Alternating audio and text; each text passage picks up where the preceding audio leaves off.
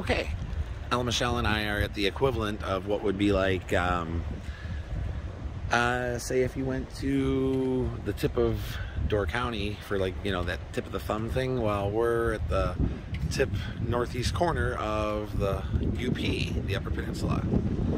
And uh, it's the Whitefish Point Light Station. L. Michelle's way ahead of me there. There's a Coast Guard building behind here.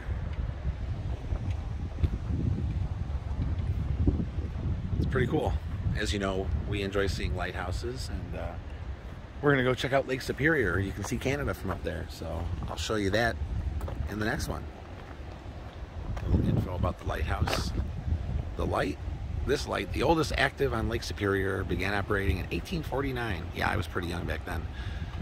Though the present tower was constructed later. Oh, cool. Check it out if you care to read. Pause the video and check it out. Take some more pictures and go and check out the lake.